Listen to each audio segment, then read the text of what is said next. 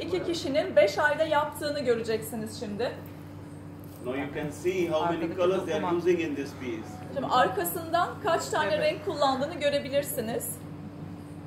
Farklı farklı pek çok renk kullanılıyor. Ne kadar güzel. Şimdi önünü bir çevirecek. Anananam. Anananam. Bu da bitmiş hali düz Hakikaten güzel arkadaş. A design of the Lord Krishna with the best girlfriend Radha. Ee, Lord Krishna'nın e, with his- Radha. Radha. Ee, arkadaşı Radha ile olan şeyi e, buluşmasını sembo- sembolize eden bir şey var, dizayn var burada. You can see the speciality of this technique in a one line. Design is the same, but in different color combination. Yes.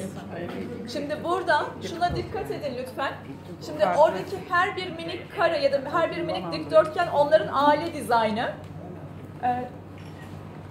Her bir dikdörtgen onların aile dizaynı. Her bir aile dizaynını şey yapıyorlar, farklı farklı renklerde yapıyorlar. Aslında resim aynı resim ama tavus kuşunun, çiçeklerin, kıyafetlerin, e, şey ineği süsleyen e, takıların her şeyin rengi tamamen farklı farklı şu anda.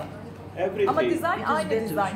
Everything. If you see the dresses, if you see the flower, Yeah, yeah, yeah, peacock, everything is everything in different color combinations. Evet. Both sides, vertical or horizontal, Yeah. you will get a different color. Ya bir line'da bile aynı rengi kullanmamış değil mi? Yeah, I, I missed that part. I'm sorry. No? I'm saying if you see the vertical or horizontal, you will get a different color combination. Ha, okey. Şimdi dikey, dikey ve yatay olan iplerde tamamen farklı farklı dizaynları ve farklı farklı renkleri görüyorsunuz. O az önce arkada gördüğünüz renklerin hepsi kullanıldığı için bu şekilde e, renkler değişik. It's a possible only old technique. In the new technique, you will get in a one color in a one line. Şimdi bu sadece e, eski teknikte e, mümkün. Yeni teknikte only One One line, one color. color. Evet, tek bir sırada sadece tek bir renk kullanılabiliyor. Yani